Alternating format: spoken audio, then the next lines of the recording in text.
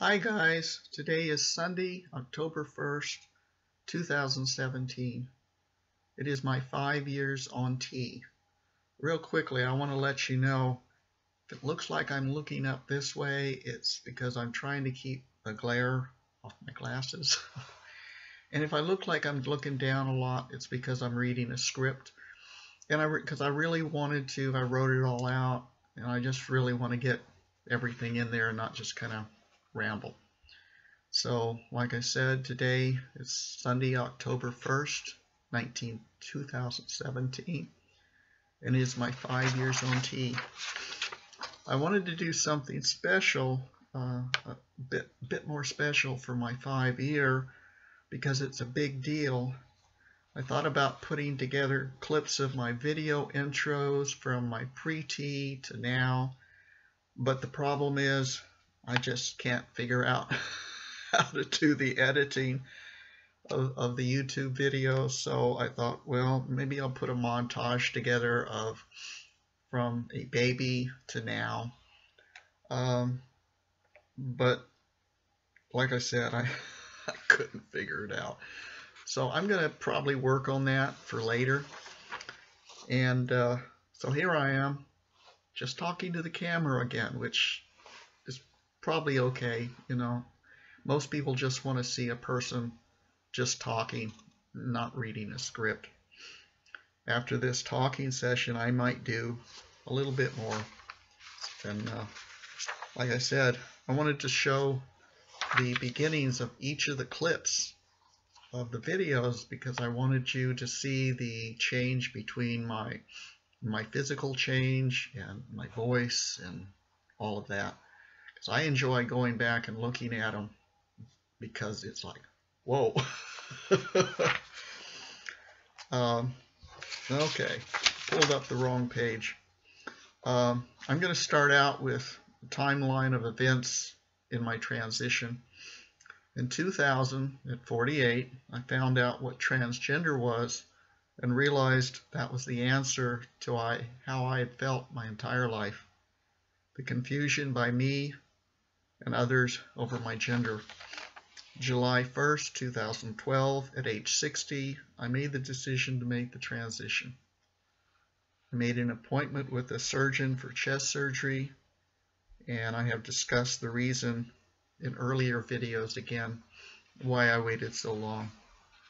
August 1st, 2012, I started having to see a therapist who would evaluate me and give me permission to have my chest surgery and start testosterone as part of my transition. I had to do this prior to seeing my doctor who would take care of my transgender health.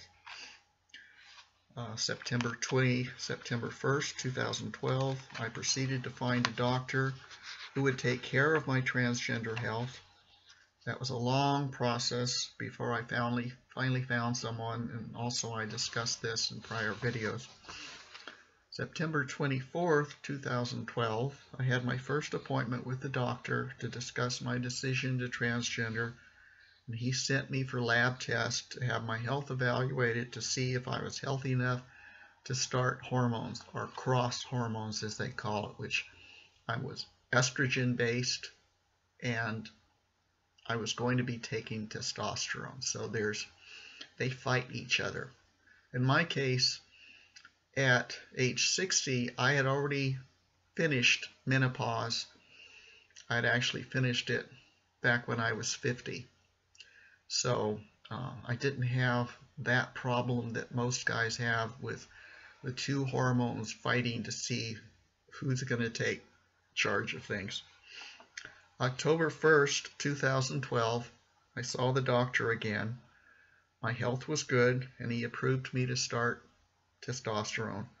I then got my first shot, my first T shot, which is a red letter day for us guys. After that, I saw the doctor weekly for my evaluation and T shot. October 25th, 2012, I got a court ordered legal name change. Red, red letter day. November 1st, 2012, I got a driver's license with my legal name change. I also got my social security account changed. After getting a legal photo ID, which was my driver's license, I was able to start changing my name on all my legal documents such as banking, credit cards, health insurance, home and car insurance, property title, on and on. The ladies who have been married and have had to change their name know the process of changing your name on everything. The, the older you get, the more your life history, the more there is to deal with and change. Just about the time I thought I had thought of everything and dealt with all of them, something else would crop up. Get something else in the mail or I'd get a telephone call and you go, oh yeah, that too, okay. And all of it requires time and money to go through the process. January 21st, 2013, I met with a surgeon who would do my first chest surgery. January 22nd, the next day, I had my first chest surgery. September 9th, 2013, I got the letter from my doctor indicating I had met and completed all the criteria and clinical treatment to have my gender marker changed from female to male. Big day.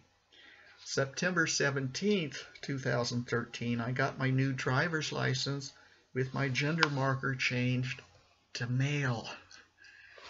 I now have on my driver's license a M instead of a V, uh, instead of a V, instead of an F. I think most cisgender don't even know that that little letter exists, but we do. September 28th, 2013, I started the long process of getting a new passport issued with my legal name and gender change. I waited till I had had both of those done because it is a long process and I just wanted to do it, go through it all at once. November 26, 2013, which was almost two months later, I finally got approved and received my new passport. Two months of a very long and drawn out process that was costly and stressful and definitely discriminatory against transgender individuals. Many trans men and trans women often give up because of the stress and money needed to do it. And I think the government does this for a reason to, to discourage us from doing it. April 30th, 2014, I had my second chest surgery to have a revision because the first one was botched. Again, talked about in prior videos. July 5th, 2017, I had a tattoo done of a transgender design I first created on July 7th, uh, July 7th, 2013. It was the one year anniversary of my decision to transition. It's it's Salish design, which I love, and it's in native culture, we're considered two spirit, male and female. We've lived in both, we're called two souls, twin souls, twin twin spirits. And what it is, it's like yin and yang. It's parallels of the two of the two things. And I created something that looked like water because I see the transition like a stream. It's a it's a transition. It's moving from one place to another. So um, I'd been inking it on daily for four years, just making sure it was something I wanted done permanently. It marked the fifth. It, mar it marked the fifth year of my transition, and I love to wear it and look at it. Just it just feels so good. And it feels good because I designed it. Uh, it didn't come from somewhere else. It came from, from inside me. October 1st, 2017, which is today, is five years since I started my physical transition. The surgical process is over, and the last several lab tests and checkups have been near perfect. I have gone from monthly, then three month, now six month checkups. There are rapid physical changes early in the first year, but after that, the physical transition continues to happen because every cell in the body evolves from female to male physiology for trans men. The transition takes a long time. It is not done quickly. The body does not change rapidly. There is usually a lot of noticeable change, physical changes the first year, and often earlier. It depends on the guys. On average, the minimum time required to change your physical sex is about two years, and that's about the best case scenario. Often the process can take three, four, five, or more years. Some guys talk about still feeling changes 10 years out. In some ways, the process never really ends. Each year that passes, one still changes a little, even after surgery. I'm still feeling slight changes that other people don't notice, don't see. My skin texture has changed. Um, my skin used to be very um, it was it was different. The skin texture was different. Um, it used to be when I gave myself a shot, the needle went in like what do you call it, knife, hot knife and butter, and now I poke in it, and the skin kind of depresses, and finally the needle pops in. and there's guys that talk about they used to really look forward to that shot, and now some of us go, oh, it's that day. but you want to do it, so you do. Uh, in general, one can expect to be more or less living as the appropriate gender after about two to three years. Even though we all change at different rates, a lot of us pass is seen as accepted as male within a few months. That's the way it was for me. I I really was accepted very rapidly people that didn't know me accepted me as male very quickly. The, the people that already knew me said they saw the changes, but they knew I was transgender, so I think they weren't, I don't know, they saw it differently. But out in public, for the most part, uh, people that met me for the first time, and afterwards, uh, when I told them, to say, wow, I only saw a man, I didn't see a woman. So the five-year anniversary is a big day for me. I'm gonna, I'm gonna cry. It is a big day. I have passed through the major, major physical milestones and now continue with the long process of psychological transition. Just about every day is a new socialization encounter and transition. Cisgender individuals are born into the gender that society accepts them as and that they feel comfortable as being. But, and they gradually, they learn, they gradually grow into that from birth. They're, they're socialized as males. They feel male. They just move into it naturally. But some of us, like myself, at age that trans started the transition at 60, and I'm now 65, have to continually learn our new role in society. Also for me, since I was seen as a straight female, and I'm now considered as society as a gay male, I have, uh, and I'm getting mixed up, but I have always, I have always and still attracted to men. So I'm still the same person in my head. In fact, I, unless I look at a mirror or really listen to my voice, I, I just see the same person I ever was. Um, so for me, there is no straight female or gay male. I see myself as a person that is attracted to men. It's simply who I am. So that has required my my my learning a new role in society.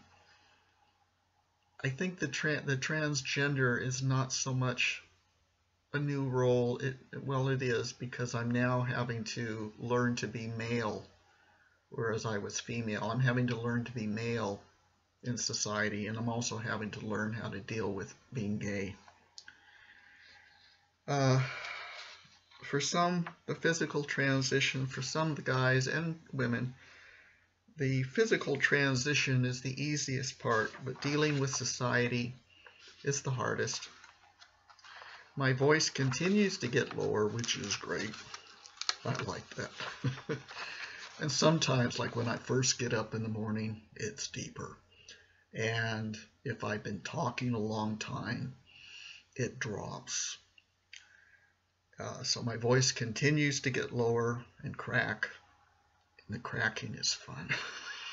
I try I try to ignore it and, and I hear it and I'm noticing it, although I don't think others notice it, although sometimes I'll have somebody say, What's wrong with your voice? I said, Oh, no, nothing. oh, just, you know, having problems today. Um, where am I? I, went off script. Um, my hair continues to recede and get very thin. Used to be, if you look at my earlier videos, very, very thick hair. Way down to here. No more. And I still have slight acne. I literally break out with something every day. It's not major but there's something there every single day. Um, I have been asked if I have ever regretted making the transition. And I tell them, definitely no. I wish I had done it sooner and would have loved to have done it when I was a young kid. But back in the 50s and the 60s, it wasn't common knowledge. And I nor my family and friends knew what it was or how to deal with it. They just considered me a tomboy and they, you know, I just, I was a masculine female. I got criticized a lot for it, had to deal with all of that. But I finally, at age 48, I found out what it was. That eased up the, the problem. But now I've achieved it. I've achieved the transition. And I'm so glad it's happened. It just feels so natural to me. I no longer have to be pretend to be female. I don't have to try to be try to be female and then slide back into being male and then try to be female again and fit into what society feels I'm supposed to be. I can act, be the person and the gender I truly am.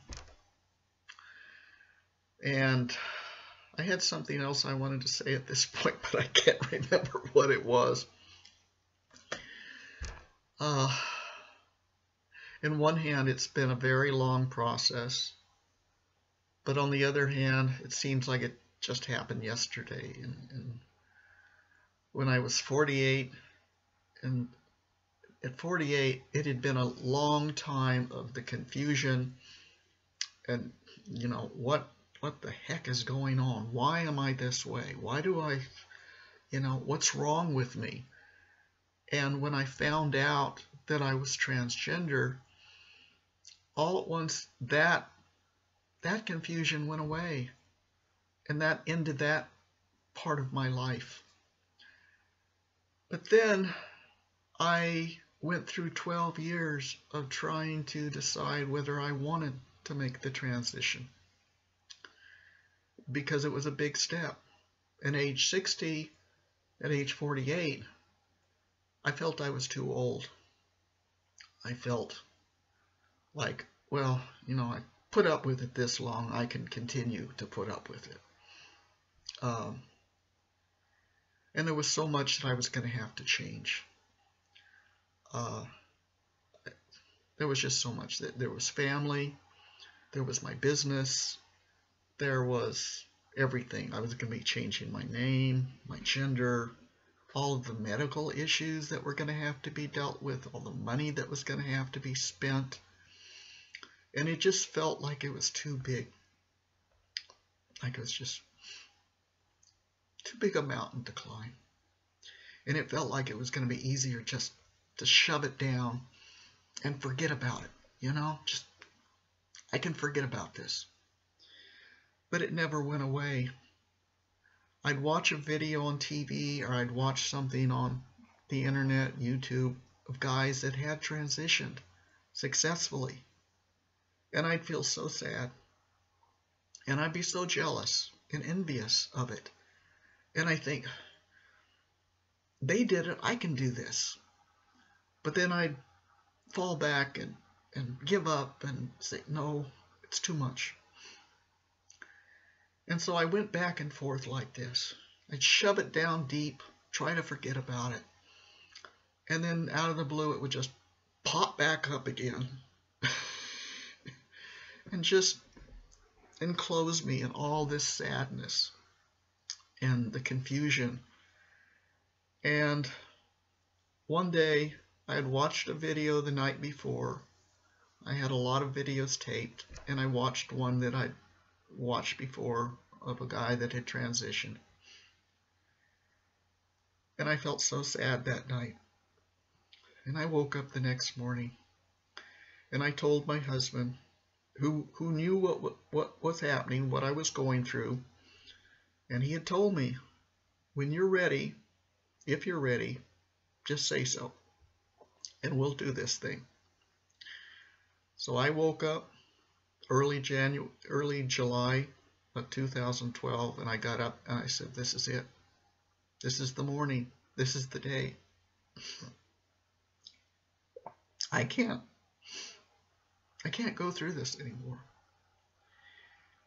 And so as soon as I said that, as soon as I did it, I it was like this load was lifted off of me.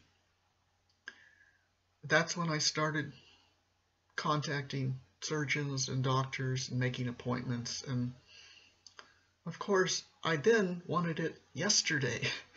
it was like, okay, I'm ready now. Let's do this thing. But it took me six months to get the surgery. It took me July, August, September. It took me three months to get get the first shot. But then the process started, and I just moved through it. And as I talked about in previous videos, there were problems. There were physical problems, finding a doctor, getting the right doctor, uh, the doctor giving me an overdose of testosterone, which really messed me up, almost killed me. The first chest surgery, the surgeon didn't know what he was doing and he botched it up.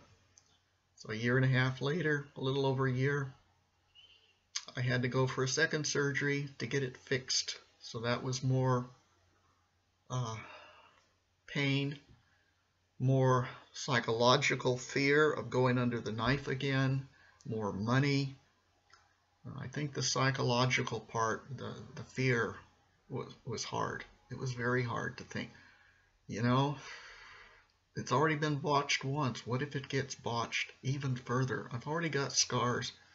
What if they're even worse this time? The doctor was really good. The questions he asked me, the, the moment he started talking to me, I realized he knew what he was doing. I really did know he was what he was doing. So now the the surgery the surgery's been let's see 14, 15, 16, 17, a little over three years since that, that last one. Still got the scars, but it looks good. The placement of everything is proper now. And like I said, I discussed all that before. And the hormones are balanced out. So it's all good now. And uh, as I said, I just wanted to mark this day as huge red letter day for me among among many. And uh, so I'll talk to you guys later. Bye bye